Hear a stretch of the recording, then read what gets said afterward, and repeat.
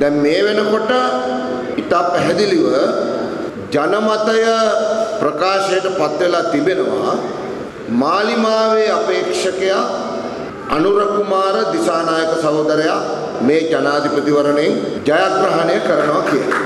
අනුර සහෝදරයා ජයග්‍රහණය කරාම මේ පාර්ලිමේන්තුව විසුරුවනවා. මම එක සාතිකයක් තමනා දෙන්න කැමතියි. ඒක තමයි සජිත් ප්‍රේමදාස මේ රටේ ජනාධිපති වෙනවා.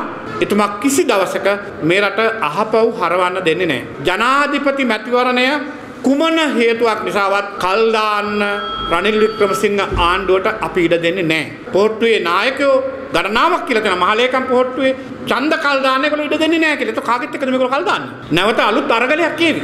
ඒතර අපේ විසඳුමේ එක කොටසක් තමයි පුරවැසියා බලසතු කිරීම. අපි හිතනවා ඒක සිද්ධ වෙමින් යන්නේ. ඒක සිද්ධ වෙලා තියෙනවා. හැබැයි මේ පුරවැසියා ශක්තිමත් වෙන්න ශක්තිමත් වෙන්න මොකද්ද වෙන්නේ? අර සම්ප්‍රදායික දේශපාලන කඳවුර බය වෙනවා. දැන් මේ නැගී එන පුරවැසි බලය මාලිමාව වටේ එකතු වෙනකොට එතකොට ප්‍රධාන හතුරා බවට මාලිමාව පත් වෙනවා. එක පැත්තෙන් සජබෙන් පේක්ෂකයට නම් කළා ඉන්නවා සජිත් ප්‍රේමදාස මහත්තයා මාලිමාවෙන් අනුර කුමාර දිසානායක මහත්තයා මේ දෙන්නම දැන් කාලයක් තිස්සේ ඉඳන් මැතිවරණ ව්‍යාපාරේ පටන් අරන් කරගෙන යනවා.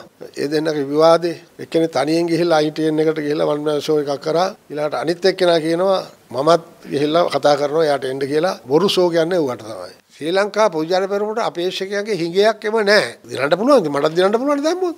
පොහොට්ටුවට තාමත් හරි හමන් කෙනෙක් නැති නිසා. ජනපතිවරණය කල්දාන්නව මගඩිය සොය සොයා. සැඟවුණු ඒ අමුත්තාව සොයාගන්න බැරි නිසා. සජවනායකය තෝරා ගමුවෙන බැදිවල නොයා.